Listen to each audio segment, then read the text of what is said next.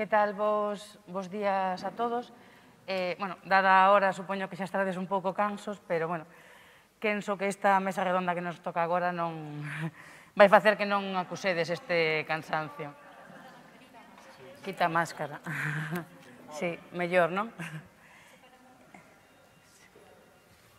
Nada, tendo todo a, todos a máscara menos eu, supoño que estará ben. Que, nada, imos un, cunha mesa redonda, eh, cando a herdanza e a memoria, Eh, penso que o título xa fala moito por si sí mesmo, pero temos a tres persoas que, bueno, teñen eh, dúas características en común as tres. Eh, a primeira que os tres son descendentes de espoliados e outra pois que os tres asumiron pois a herdanza familiar de transmitir pois esa herdanza, a herdanza do espolio propio e tamén pois do, do resto da, da sociedade. Son os tres activistas eh, pola memoria e ademais pois poden pois, falar en primeira, en primeira persoa pois, do, do que supuxo pois, o franquismo. Eh, temos primeiro a Susana Sánchez Arins. Susana é natural de Vila García, ela ensina educación secundaria, é escritora, é poeta, é tamén militante feminista e militante pola memoria. Eh, Susana é, ao mesmo tempo, familiar e víctima ten esa dobre condición de, da represión. Non? É, é sobrinha neta dun represor, pero tamén é neta pois, dun, dunha víctima. E tamén nos acompaña Carlos Babío, e Carlos é coautor de Meirás, eh, un pazo, un caudiño, un espolio, bueno, de todos é coñecido pois o papel fundamental que tivo pois ese libro na recuperación pois do pazo de Meirás 82 anos despois, e ademais pois, tamén ten a condición de ser neto dunha víctima directa da usurpación. E despois temos a Paqui Maqueda, que é a que, a que está máis lonxe de min e a que ven dende máis lonxe, dende Terras Andaluzas, ven ela. E, ela é presidenta da Asociación Andaluza Nuestra Memoria e tamén forma parte da Asociación Gambogaz, que bueno, un movimento organizado pois que busca ir contra o legado pois, dun xenocida, non? de Keipo de Llano, que foi pois, un dos eh, golpistas máis sanguiñentos. Ademais, ela pois, tamén é neta pois, dun, dun espoliado. Eh, e vos parece ben, imos empezar por Susana. Eh, Susana eh, escribiu un libro, eh, Seike, no que fala pois, desta dobre desta dobre condición, non? Eh, fala de como a maldade estivo pois, na súa familia e despois tamén fala, bueno, pois co seu tío avó foi un represor, eh, o nome non o lembro moi ben, pero Manuel García Sampaio, non? Falanxista, foi alcalde de Ribadumia, e ademais foi un dos principais represores das Rías Baixas, sobre todo nos primeiros anos do franquismo. Pero ela pois, tamén é neta pois, dunha, dunha vítima e contanos pois o que sufriron pois tendo tan ao carón pois o seu a un golpista, non? E como a parte sufriron directamente, pois eh, quitoulles parte da herdanza tamén eh, a seus irmáns, E, bueno, ela conta no libro, pois, pregúntase, non? Se iso facía cos da casa, pois que faría cos, cos de fora. Penso que, bueno, que sí que vai nos pois contar un pouco todo iso. Muy ben. Eh, obrigada. É un, é un gosto estar nun espazo como este. Para o, para o importante nun espazo no que hai aí un escudo case, case, case. Ou non, ou sen case. Ah. Eh, eh, gosto de estar nun espazo que se recupera para o importante, non? Cando, bueno, cando Monse me chamou para, para participar nesta mesa, eu aceptei, porque a mí gustame falar. Eh, pero despois quedín pensando, quedín pensando, e dixen, pero non pinto nada aí.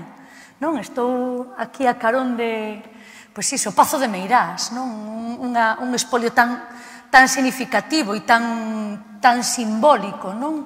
Eh, e Queipo de Llano, outro, outro elemento non tan importante. Eu estou aquí pois, porque, porque o tío Manuel lle roubou a heranza á abuela Gloria, porque basicamente eu estou aquí por iso. Non?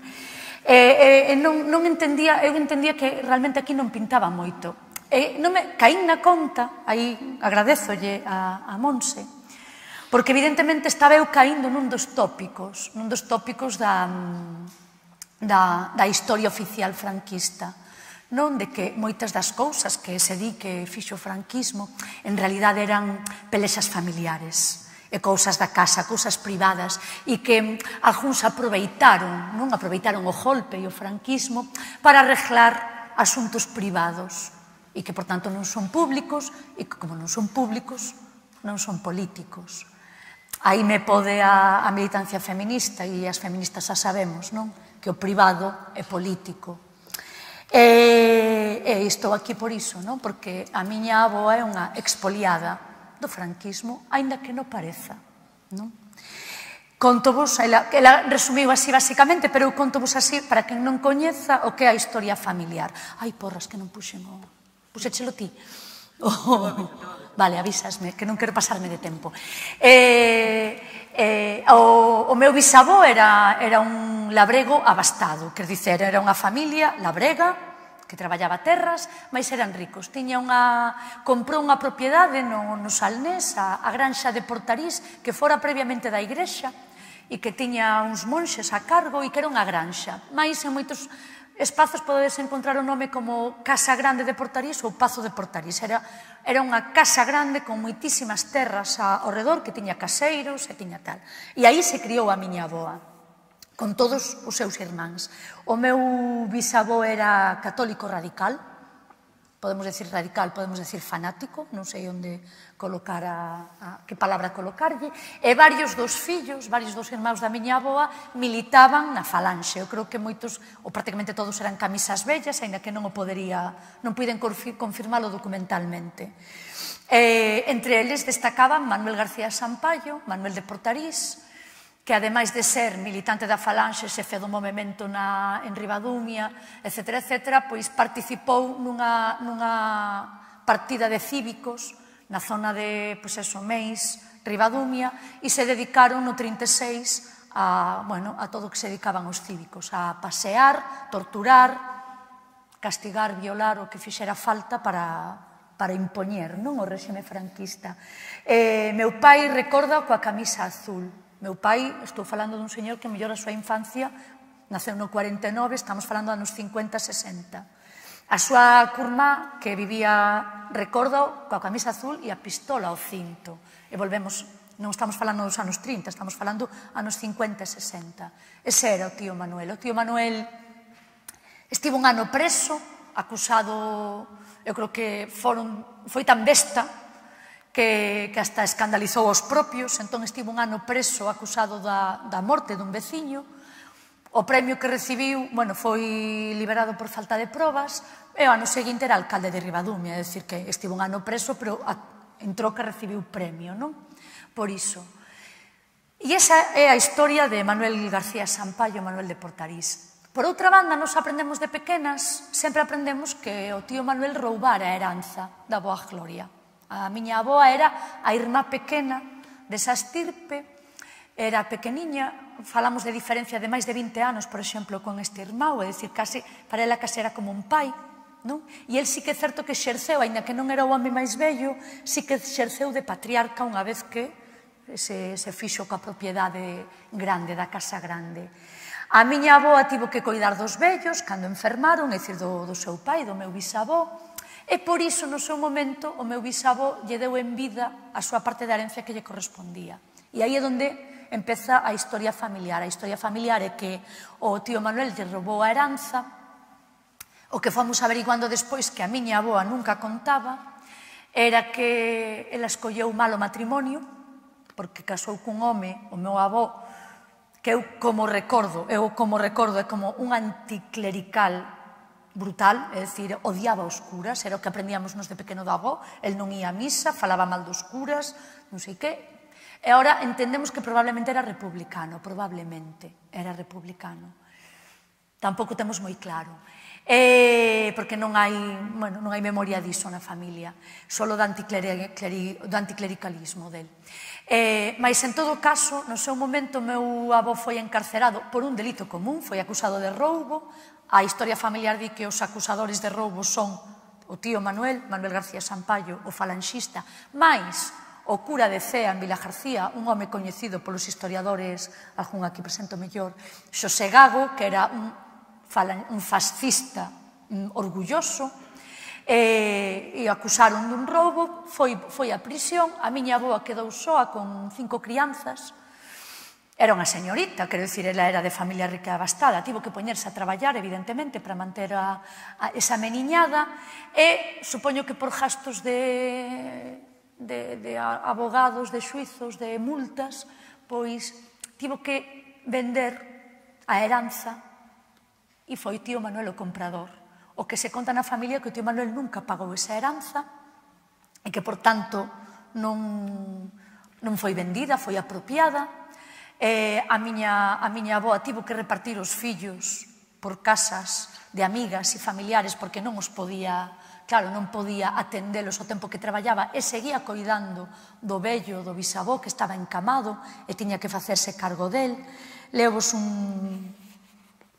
Ela puxo unha taberna e, e di unha das, unha das sobrinhas da miña aboa lembra a casa da tía Gloria conta Celia, e a taberna.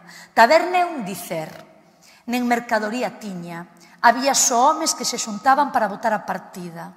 Eu non sei escrever e gostaría para poder explicar como era de triste aquel lugar. É o que lembro, a tristura e o frío enorme que ía no cuarto do abuelito. Estamos falando dos anos da fame, anos 50, anos finais dos 40, anos 50, decir, e dunha persoa que se quedou sin recursos económicos de ningún tipo. A, como digo, a extirpación dos fillos, ela tivo que entregar os fillos a mijas e a familias. Meu pai criouse cunha outra irmá, ou cunha tía, a tía Ovaldina, pero que a, a, a, a expropiación dos fillos foi a máis. Meu pai foi enviado ao seminario.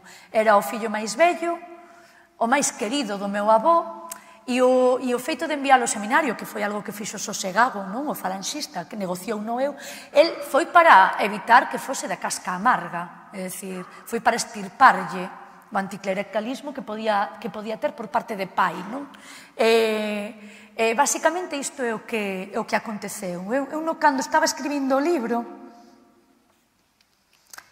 escribindo os trechos que creo que son significativos. Non? Injustiza ese in entre aspas. Non? A ditadura argallou un sistema punitivo que deixaba sen saída as persoas que tiveran un nada que ver ou un todo coa desbaratada república e a súa defensa. A mesma violación da súa lei e dos preceitos da súa moral causaba abertura de expedientes en procesos diversos.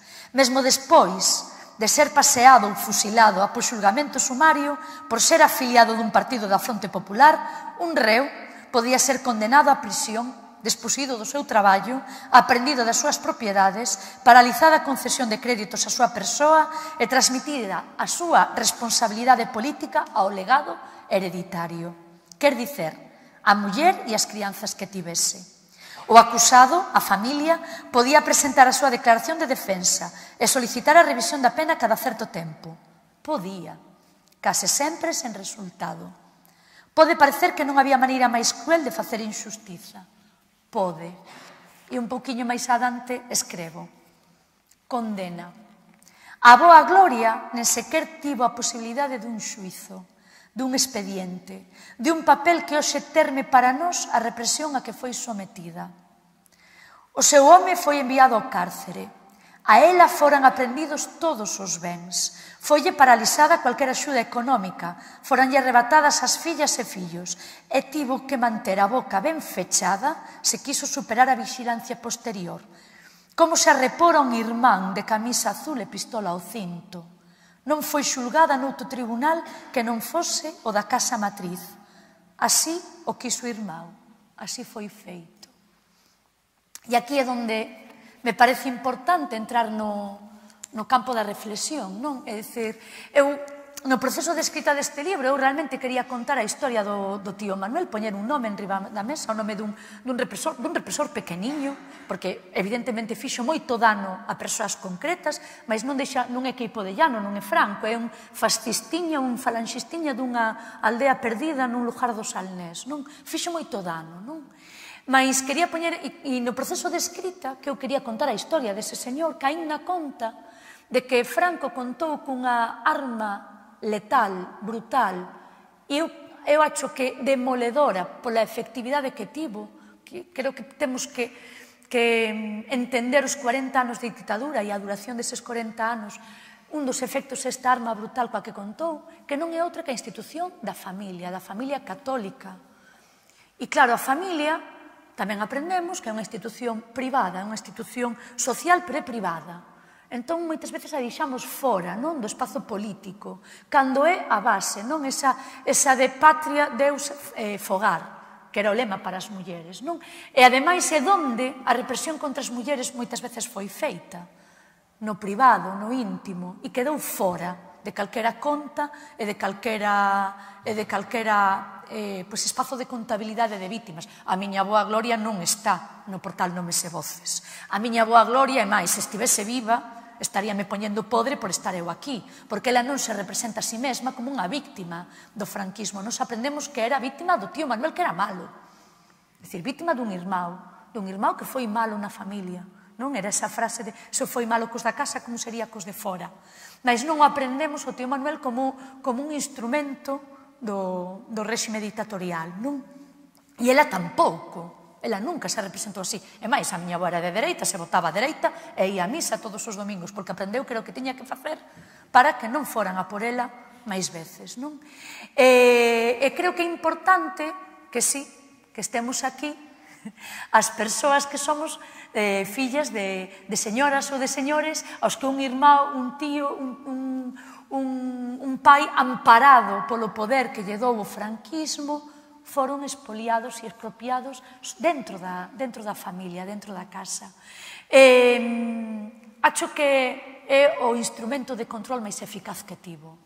A familia na que o, o patriarca que é a representación de Franco na, do dictador non? na casa, o patriarca decide, exerce, fai e executa sentenzas, sentenzas que non teñen papéis, nas que non hai un, nen sequera dun, dun falso tribunal de orde público, non? É dicir, digo falso no sentido de que non ten legitimidade mm, democrática, non ese tribunal, pero polo menos tes aí un papel que di que a túa familia foi multada, que di que a túa familia foi foi requisado un ben, a miña aboa, ou neste caso a familia da miña aboa, meu pai e os irmãos non contan con ese con ese respaldo de papéis. Eles foron foilles arrincada a heranza e non aparece en ningún sitio iso. E, e máis, alguén que me escoite, alguén que me escoite fora destes foros, dirá, eh, eso son cousas da familia, son cousas de familia, non é foi parte, foi parte do, do, do traballo que fixo neste caso a dictadura e o exerceu. E encontraremos moitas pequenas familias ou moitas familias nas que hai un irmão, unha irmá, un, un fillo, un neto a que lle foi sacado, foi expulsado do, foi expulsado do amparo familiar e foi colocado fora, foi foi iso, nos anos da, fa, da fame sacadas as terras, co que a terra significa na Galicia, non na Galiza para as galegas e os galegos, o que significa a terra e a propiedade da terra, e foi arrincada esa propiedade, e, e non hai, non hai conta. Non? É certo que a institución familiar como tal ten a súa parte subversiva, donde hai donde hai unha institución, hai unha subversión, esa institución, evidentemente hai familias que xerceron de protectoras de víctimas, de, de dando amparo ao veciño que, se, que, que andaba no monte, etc. etc. Mas é certo que o, o grosso forte da institución familiar foi esta, non? a que controlaba que ninguén se saíse do, que non se saíse da, do marcado e a que se saíse no marcado, marcalo ou marcala Pois arrancando, non sei se xa está, non? Pois xa está. Eu creo que o básico xa o dixen, e, e, e paso a eles que ahora sí que creo que merezo un pouco estar nesta mesa.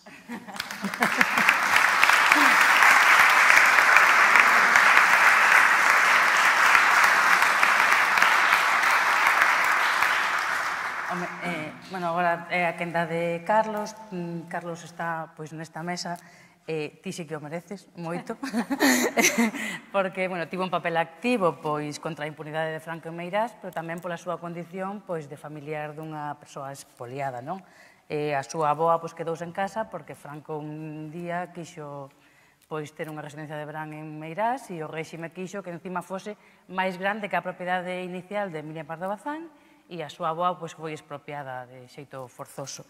Eh, unha memoria familiar que ademais foi a inspiración dun traballo que nestes momentos é pois, o traballo máis amplio que se fixo pois, sobre a usurpación de, de Meirás, eh, bueno, que, como xa comentei, pois, foi fundamental no proceso judicial, e que ademais el eh, falou moito do tema, fai memoria pois a través de charlas, de entrevistas e tal, mesmo dúas delas pois lle supuxo dúas denuncias dos dos Franco, non? Dúas entrevistas en en televisión. Pois nada, Carlos, coméntanos.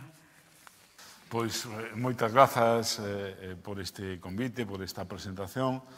Neste espazo, como xa se comentou, histórico, non? Eh, en, eh, nunhas xornadas, estas terceiras ah, xornadas, non? De, bueno, dun espazo que se está convertindo en referencia ao, no que ten que ver bueno, pois co mundo memorialista, co, como, di, como ben día o, o, o lema, non? Da, das xornadas contra a loita contra, contra a impunidade. Non? Eh, Susana, se ti non pintas aquí nada, eu menos. decir, é dicir, eh, se algunha característica tiña a miña aboa, a miña familia, era que era unha familia da brega humilde. Eh, e se lle cruza a, a Franco por diante, ou a, a raza, xunto a miña aboa, a, a un montón de labregas e labregos, porque esa é outra das características que ti comentabas que tamén nos uno xe aquí dicir, a dupla represión sobre as mulleres que eh, tivo o franquismo. Non? Eh, no, no caso da miña aboa, eh, máis da túa familia, bueno, percíbese, porque se hai algo que o franquismo facía isto maravillosamente, era crecerse entre os débiles non? e entre as mulleres, eh, e doblegarse e ser moi leal cas elites económicas e sociais. Non? Mas, como ben comen, se comentaba aquí, eu um, um, teño unha historia familiar ligada ao Pazo de Milás, xa máis me tería metido neste fregado. Si, si esa, esos silencios, esa impunidade que había alrededor mm, de Meirás na miña casa e que eu percibía, e que eu un momento determinado considerei que tiña que, bueno, que estaba en débeda eh, eh, e tiña que loitar por resolver determinadas cousas que estaban na normalidade, cando menos democrática, non? É dicir, eh, Eh, eh, nesa, nesa bueno, eh, que vivíamos unha, unha normalidade absoluta desde o punto de vista democrático, e descubrín que para saber o que lle pasara a miña boa tiña que saber o que lle pasara a esas torres, esas torres que vemos en esta, en esta foto, por certo, eh, eh, o Estado que non, non, non reclama os bens mobles, non se sabe os bens mobles, truxen esta foto porque o Estado se lle sacou os mobles aos Franco nunha ocasión, en 1978 para fora, eh? Dicir, aí están. Se queren, se queren saber que mobles hai e que cousas son nosas, hai material de sobra para demostrar, pero esta, hai veces a Guardia Civil sacando e metendo as cousas dos Franco.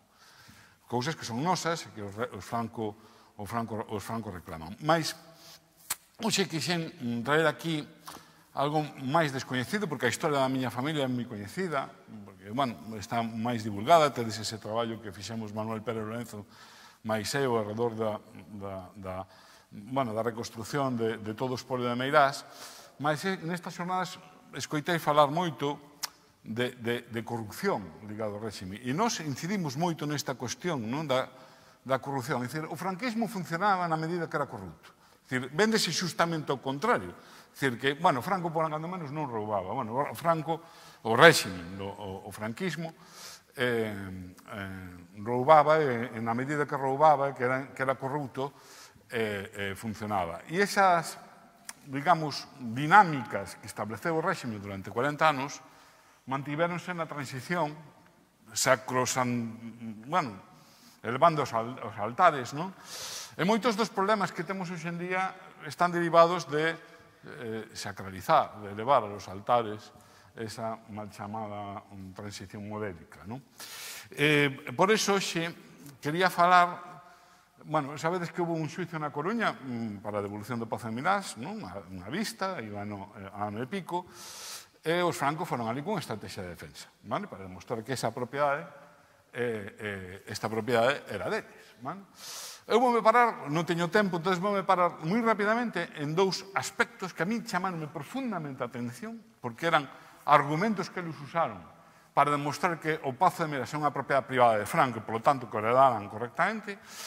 E me vou parar, houve moitas, non? pero me vou parar en dous aspectos e moi rapidamente. Non? Vou facer un, un, un percorrido rápido sobre esos dous aspectos porque me parecen interesantes en relación tamén do que levamos escuitando hoxe durante toda a mañá. Non? A primeira é Franco tiña unha explotación agropecuaria no Pazo de Mirás, vale? que declaraba todos os anos na súa declaración do IRPF, e, polo tanto, nadie ten unha explotación agropecuaria privada nun espazo que sexa público, senón nun espazo privado. Non?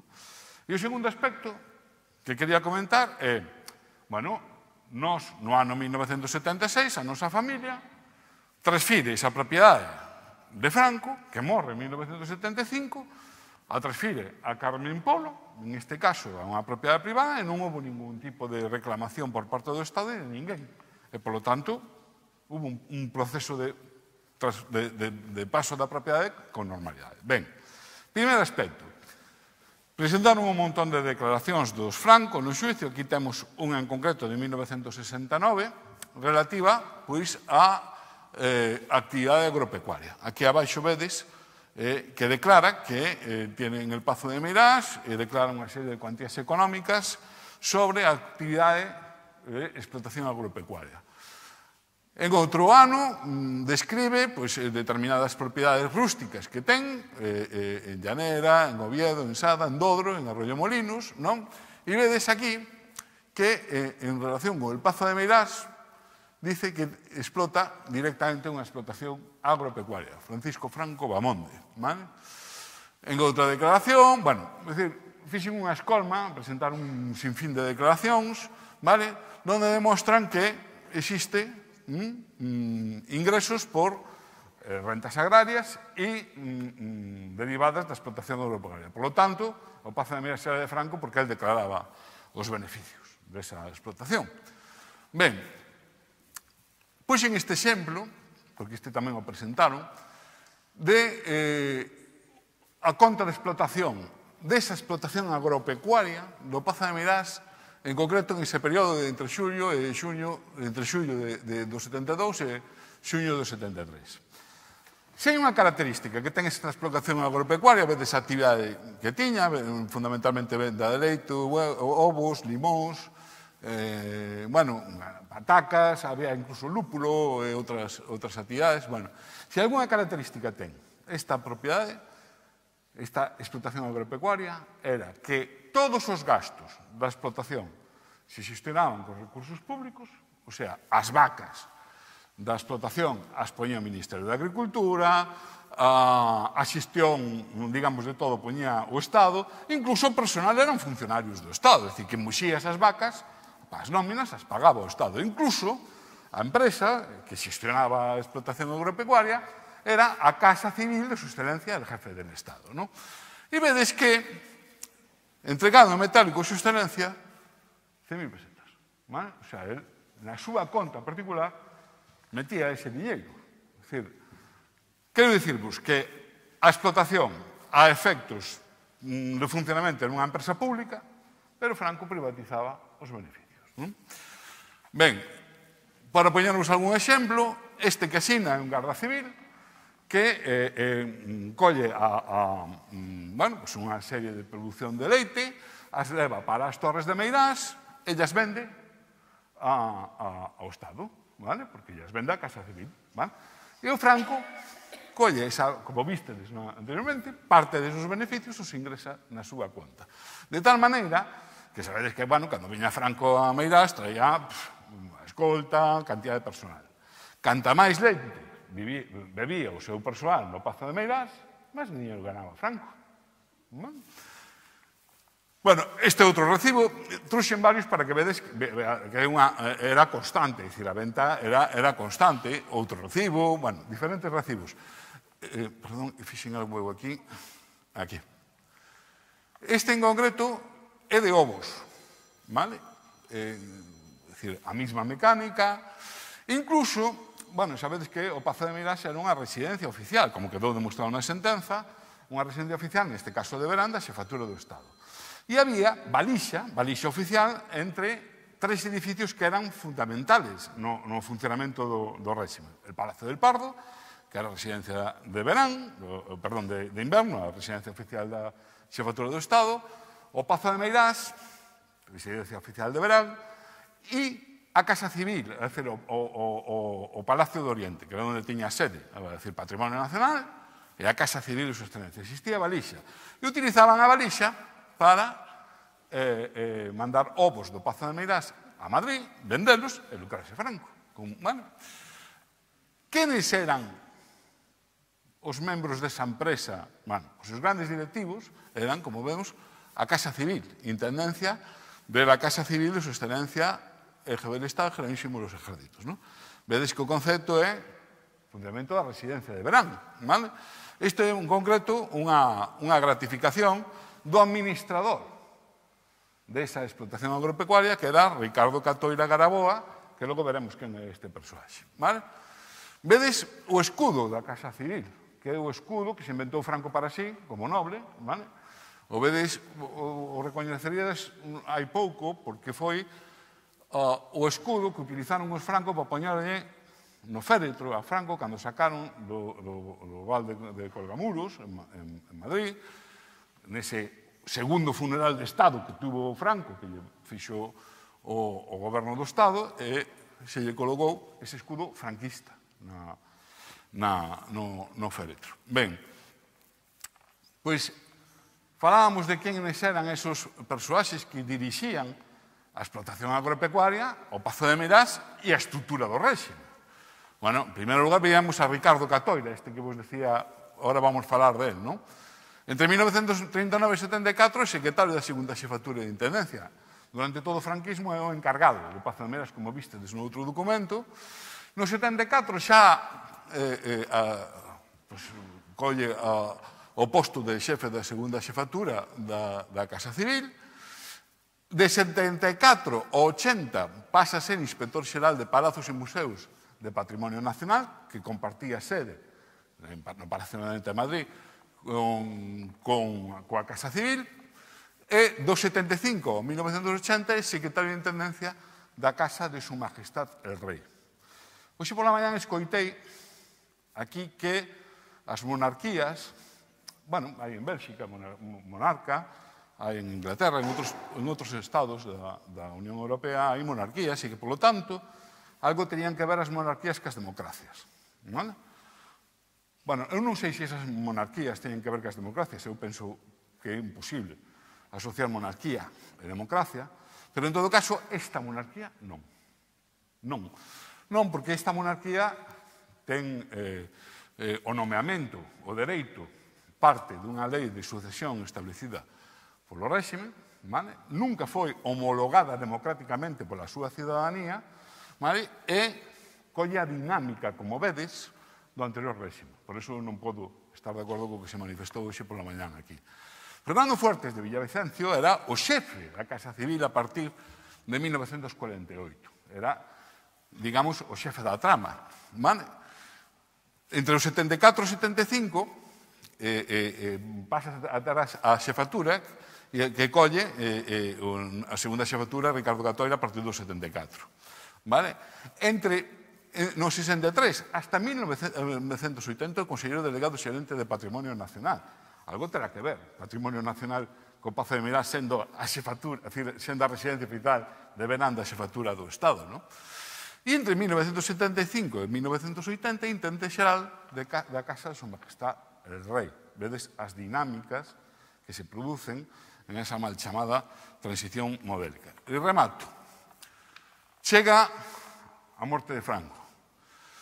Franco otorga, otorgou o testamento en 1968. Interviron na confección dese testamento como testemunhas Ricardo Catoira Garaboa, o encargado do Pazo de Meirás, Luis Gómez Sanz, que era un testaferro de Franco, un abogado testaferro de Franco, e Carmelo Moscardó Guzmán, que vos sonará, ¿vale? fillo do general Moscardó, ese icono da defensa de Toledo, do Alcázar. ¿no? Comparecen en 1976 para repartir este testamento que se otorgou en 1968. E quenes actúan otorga, no, no otorgamento dese testamento? Bueno, pois, pues, 1976, Carmen Polo de Martínez Valdés, o sea, a muller de Franco, Carmen Franco Polo, a filla de Franco, e como albaceas do testamento, Pedro Neta Antúnez, que fora un ministro de, de Franco, e personal de confianza de Franco, e Fernando Fuentes de Villavicencio, o xefe da Casa Civil que xestionara todo o tinglao do Pazo de Meirás e de outras tramas da... Por lo tanto, as dinámicas e problemas que temos hoxe en día moitas proceden daqui, que están tapadas con unha manta e que, e que desde o momento memorialista, desde a sociedade, é que nos estamos a destapar e traballar para demostrar que determinados problemas resolvense con memoria e, con, mm, e que é a única maneira de loitar contra a impunidade. Nada máis, moitas gracias.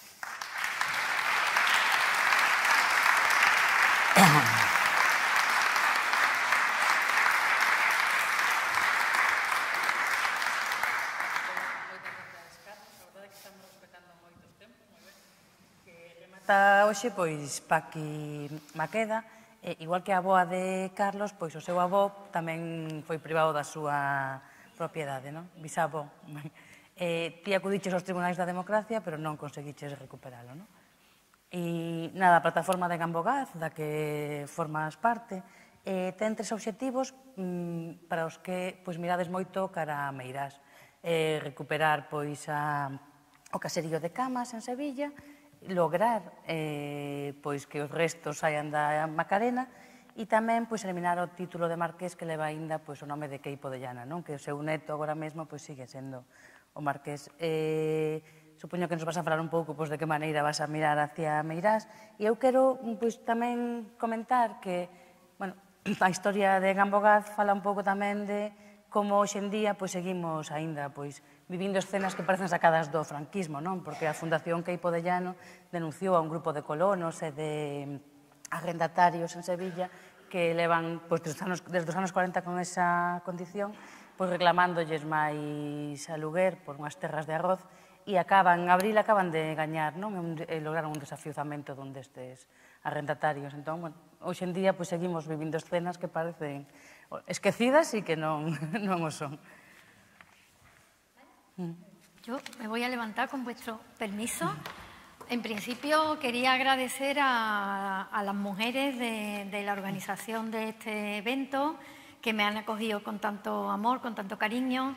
Es el círculo de mujeres ¿no? que, que tanto que nos protegemos, que nos queremos, que nos apoyamos. Entonces, bueno, no voy a hablaros, decir nombres porque quizás se me, me salte alguna. Bueno, pues muchas gracias de corazón por la acogida que me habéis dado, ¿no? También agradecer al ayuntamiento esta iniciativa y esto me refuerza en un pensamiento que yo tengo una idea de que a veces no hacen falta leyes de memoria histórica para hacer absolutamente nada. Las leyes de memoria histórica aquí no hay, ¿no? Creo que en, en Galicia no hay, pero realmente no hace falta. Lo que hace falta es voluntad política para eliminar los símbolos, para sacar a la gente de las cunetas y para luchar contra la impunidad. Esa es la verdadera herramienta que las víctimas y que la sociedad necesitamos. Por lo, tanto, pues me parece una magnífica iniciativa estas terceras jornadas ya, ¿no? Eh, después, bueno, eh, me vaya a permitir que tenga presente hoy a los luchadores y las luchadoras de Cádiz, de mi tierra, de Andalucía, la gente del metal, que ha estado estos días luchando fuerte por un puesto de trabajo digno, por una calidad de vida digna. Mi pueblo, sabéis que es un pueblo que tiene que volver a reescribir su historia, en ello estamos y es el camino de la lucha. E, esta vez hace dos días que se ha firmado un acuerdo, pero la lucha sigue. La lucha sigue hasta que mi pueblo sea un pueblo que escriba su historia y tenga conciencia eh, de, del pueblo que somos, bueno, pues no vamos a parar y en ello estamos, ¿no? Y después...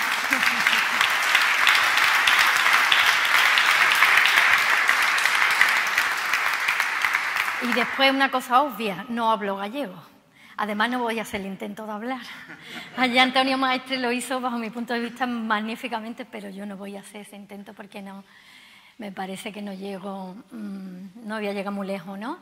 Eh, simplemente, bueno, hablo un castellano andaluzado que han depositado en nosotras pues los andalu andalucíes, el pueblo gitano, el pueblo judío, el pueblo castellano y bueno, según mis ojos y mi piel y mi apellido me queda algún que otro irlandés o alemán debe andar por ahí también, ¿no? Bueno, pues así hablo y yo creo que nos entendemos perfectamente. Adoro vuestra forma de hablar, entiendo, entiendo y, y bueno, y he seguido las jornadas bien, ¿no?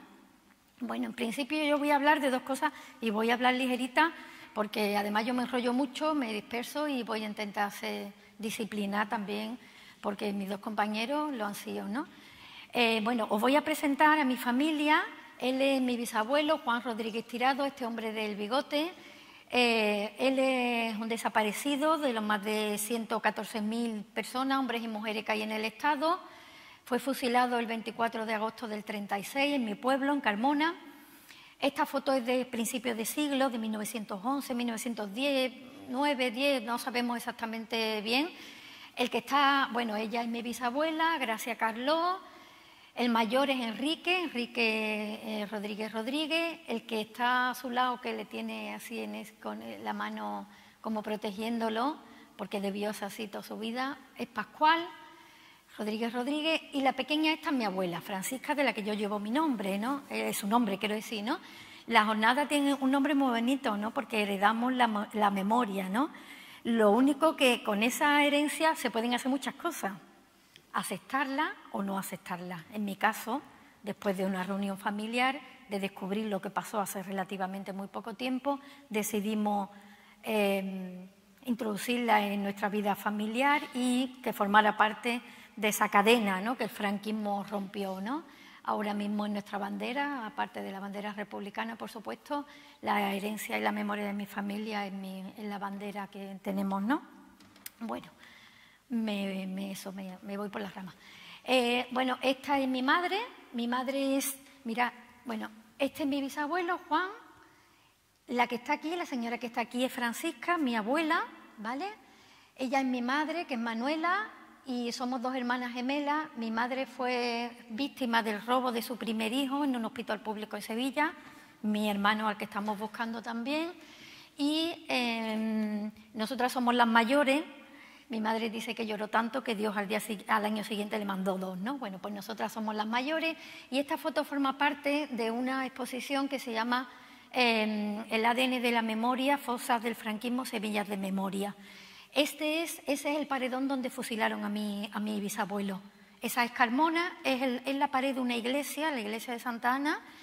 Aquí al lado justo está el cementerio, simplemente los mataban, los recogían con una camioneta y, los llevaban a la fosa común. ¿no? este, este lugar lo descubrimos buscando un sitio donde hacernos la foto. ¿no? Ahí está Juan Rodríguez Tirado, forma parte de, la lista de los que pasearon ese, mes de agosto en Carmona. ¿no?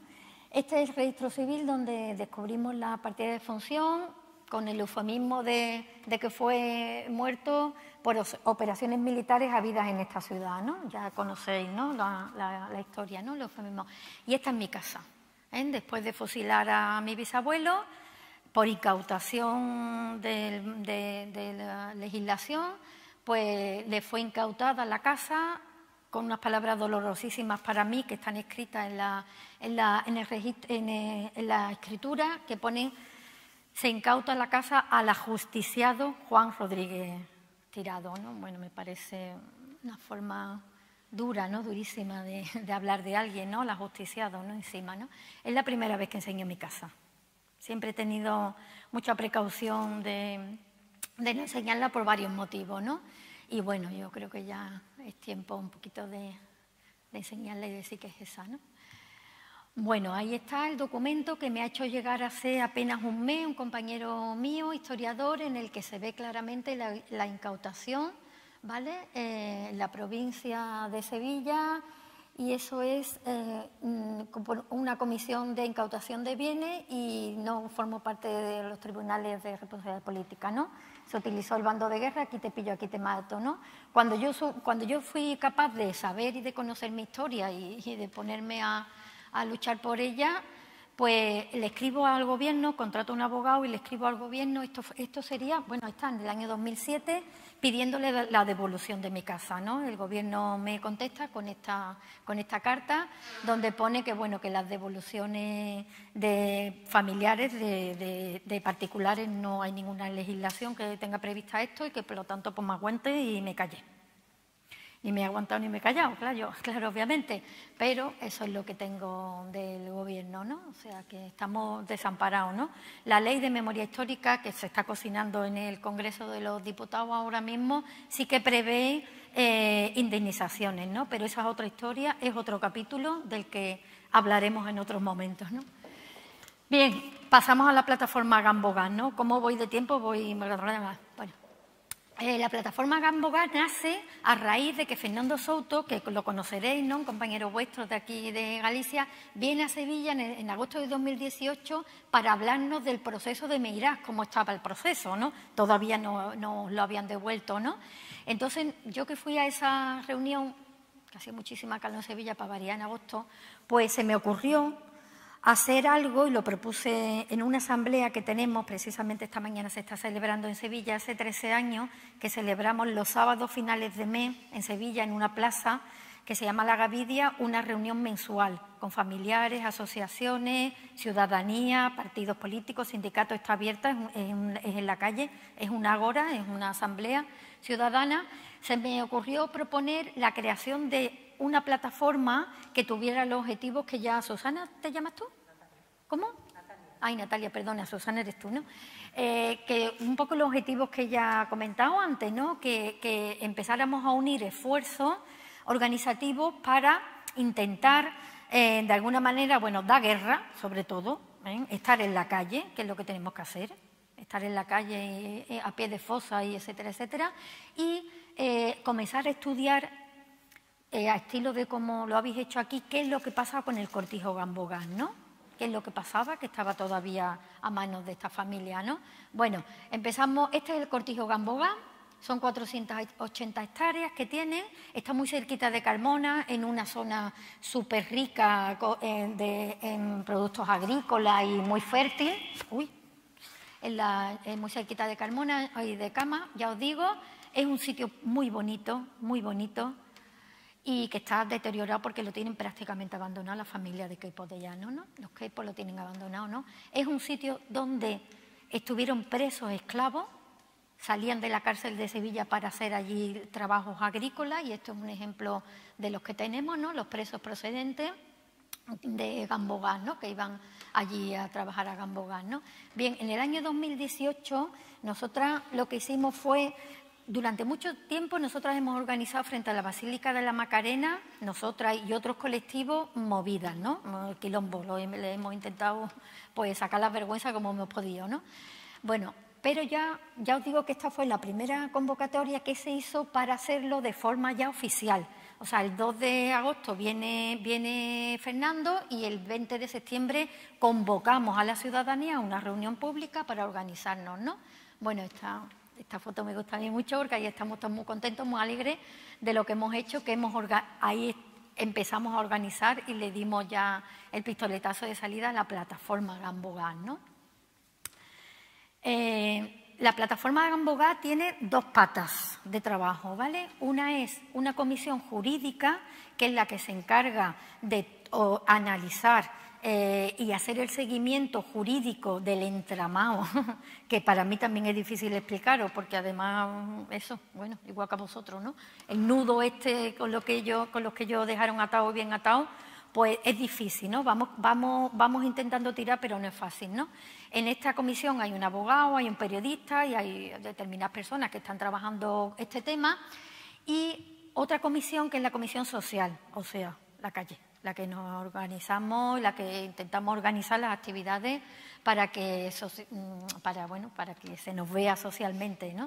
Eh, organizamos esta charla coloquio, que fue la primera que hicimos con Juan Mi Vaquero, que es un, eh, periodista del diario que ha estado aquí, que lo conocéis, que os quiere también mucho, y él es muy querible, una persona entrañable. Bueno, pues organizamos la primera charla coloquio sobre qué es lo que pasaba y qué es lo que era el cortijo gambogán, ¿no?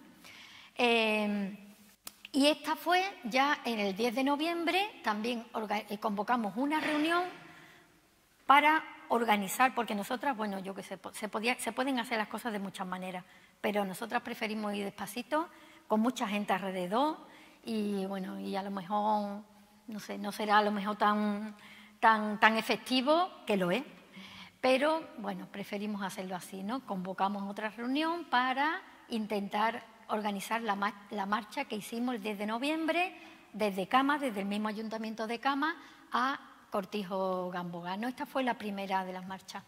¿Voy muy ligera, chicas? Muy bien, ¿no? Vale. Bueno, pues ahí estamos, la, plataforma, bueno, andando por el camino, hacía mucho frío, son unos tres o cuatro kilómetros que van de, Camas a, a, Gamboga, pero fue una, manifestación masiva, bueno, masiva, sabéis masiva lo que es, ¿no? Ahora mismo en, el Estado, ¿no? Pero bueno, mm, miles de personas había, ¿no? Y la verdad que fue, una, fue muy bonita, muy muy, bueno, fue por las calles y por el pueblo de Cama que nos daba aplauso, que nos daba la bienvenida, que nos, que nos animaba mucho. ¿no? Este es el cortijo, una de, las una de las torres, bueno, la única torre que tiene, que es muy bonito, un sitio muy bonito, y está la manifestación. ¿no? En el año 2019, voy ya cortando, ¿no? pues no me queda mucho. En el año 2019 lo que hicimos, que le montamos eh, una de las concentraciones en la misma Basílica de la Macarena esta, esta, la Basílica de la Macarena está enterrado Keipo de Llano, junto con su esposa, que es ella, Genoveva, y Borque, que no se nos puede olvidar, porque no solo queremos que salga Keipo de también Borque, el auditor de guerra, el que firmaba también y redactaba la, de esto de guerra, ¿no? y eh, queremos que salga simplemente por una cuestión, porque hay mucha gente que nos dice, bueno, déjalo ahí, porque ahí la iglesia misma se retrata, ¿no? Porque no lo dejáis ahí, ¿no? Bueno, pues porque está incumpliendo la modélica ley de memoria histórica andaluza, que en su artículo 32.2 establece que no se pueden tener eh, símbolos fascistas, bueno, lo pone así, ¿no? Símbolos que ofendan a las víctimas en sitios privados con proyección pública. Esta iglesia está abierta al público y entonces, por lo tanto, incumple y como incumple es misión y obligación del Ayuntamiento de Sevilla y de la Junta de Andalucía obligar a la hermandad a quitarla, ¿no? La hermandad, ni caso. O sea, yo no sé, a mí, a mí muchas veces lo digo sinceramente, me da vergüenza la que le liamos. A mí me da vergüenza ajena la que le liamos. Y ellos ahí están, que, que ni caso, ¿no? Bueno, esta es una de las concentraciones, de las tantas que hacemos, ¿no? Porque llevamos, hacemos preforma, llevamos nuestros carteles, bueno, eh, otra concentración de las que tuvimos, sacamos un ataúd, bueno, un ataúd no, era un, como una lápida, le hicimos esta preforma, aquí otra donde dijimos que lleváramos pañuelos negros, en fin. El año 2020 fue un año vacío para todas, ¿no? Por lo tanto no hicimos nada y ya hemos empezado el 7 de abril una reunión organizativa otra charla coloquio que fue en mayo y el 15 de mayo la segunda, la segunda movilización que tuvimos al cortijo. ¿no? Este es el cortijo, ahí está donde está situado, ese es el camino que hacemos, que ya os digo que son dos o tres kilómetros, este es bueno, uno de los, de los manifiestos que hacemos y ahí están los nuestros, en la puerta del cortijo también siempre presente, ¿no? siempre los llevamos. Eh, es uno de, esta es la última concentración que ha habido en junio de 2000. El, 14 de junio es el día establecido por la Ley de Memoria Histórica Andaluza como el día de, la memoria histórica, ¿no? Que no estamos de acuerdo para variar, pero bueno, ahí está. Entonces, pues ahí también se la montamos. Eso es una, una última. Eh, es la, la foto de la fosa de Picorreja, una fosa que se está abriendo actualmente en Sevilla, que esperamos recuperar los cuerpos de 1.100 personas, ya tenemos 660, eso es una foto de ello, ¿no? Y bueno, ahí está el quilombo y otros actos y ya no me enrollo más. Me falta decir un poquito el procedimiento ahora mismo, que tengo aquí en la chuleta, de, por el que, dos minutos, por el que eh, la familia que ya no tiene el cortijo, ¿no? Este cortijo la propiedad, la propiedad histórica del cortijo ha sido de, una familia burguesa de Sevilla, que eran los Vázquez de Lastra, pero era gente eh, progresista, de ideas progresistas, y de hecho fueron los primeros en introducir en el cortijo pues, técnicas agrícolas eh, bastante modernas, ¿no? Y además respetaban las condiciones de, los, de los, campesinos, de, las personas que trabajaban allí, ¿no? Los Vázquez de Lastra, ¿no? No sé en qué año exactamente, pero debió ser antes, por supuesto antes del 36, los Vázquez de Lastra le venden el 86% del cortijo a un señor que se llama Manuel Camacho Naveda. Este era un, ganadero de Cádiz, un bala perdía, un bala perdía, que era un personaje eh, que se queda con el 86%, los Vázquez de Lastra se quedan con el 14%, y este señor eh, era un, bueno, lo detienen y en el, año 37 está en prisión hasta junio por tráfico de divisas en el Peñón de Gibraltar. O sea, era un, buen elemento, ¿no? Lo detienen y, curiosamente, meses después lo vuelven a meter en prisión. Entra en prisión Y en, eh, en diciembre del 37, Keipo de Llano le compra ese 86%, pero se lo compra, que es la hipótesis que nosotras manejamos ahora mismo, en una especie de simulación, ¿no? O sea, de simulación de, compra, ¿no? ¿Por qué? Porque este señor estaba en prisión. ¿Por qué entró en prisión? No lo sabemos, otra vez, pero entra en prisión. En prisión se celebran unas escrituras y ahí lo representa un militar retirado. En ese acto notarial hay un militar retirado que representa a Manuel Camacho, ¿no? En esa, eh, estando en prisión, eh, y, bueno, en las escrituras lo que pone que el dinero que se ha hecho en esa compra es una, es un, se ha adquirido por una suscripción popular, cosa que a día de hoy no está demostrada. No hay ningún documento en Sevilla que aparezca que los funcionarios eh, de aquella época, bueno, que mucha gente colaboró, pero sobre todo siempre decía que los funcionarios habían dado parte. No una mentira, no aparece, bueno, mentira, perdón, no aparece ningún papel que pueda justificar esta donación, ¿no? Esta, esta mm, no fue una donación, fue una recaudación, ¿no? Bueno, tenemos que en el 37, cuando se hacen estas firmas, eh, Manuel Camacho sale de prisión vivo, pero sin el cortijo. Eso es lo que dice la familia ahora con la que estamos hablando, ¿no? Que bueno, que ellos entienden que fue bueno, pues, una simulación y que simplemente le salvaron la vida por la entrega de esto, ¿no?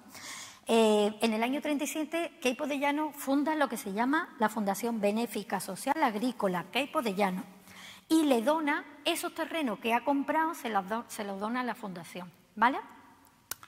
Por distintas maniobras, porque él maniobraba mucho y, y muy bien además, también se queda con el 14% de las tierras de los Vázquez, de los que tienen, ¿no? Y en el año 1943 la Fundación transfiere la propia finca a Queipo de Llano. Actualmente esta finca, la propiedad es de los hijos de Queipo de Llano y de las hijas de Queipo de Llano y tiene alquiladas las tierras a eh, unos colonos, pero cuidado, porque aquí la historia también es un poquito, ¿qué colonos son? ¿Quiénes eran? ¿Por qué se les alquiló esas tierras en su origen. Era gente cercana al régimen, eran realmente gente que había colaborado de alguna manera, ¿no? O eran simples campesinos que, sabéis que bueno que la represión en Sevilla fue muy parecida aquí, la arquitectura fue muy parecida, allí no hubo guerra en Andalucía y bueno, y allí cualquier rojo, a cualquier rojo no le alquilaban ninguna tierra, y menos las tierras de Queipo de Llano. Entonces también ahí la historia nos hace ser un poco prudentes, ¿no? Así que nada, me callo y si queréis preguntar algo, pues ya está. Gracias. ¿eh?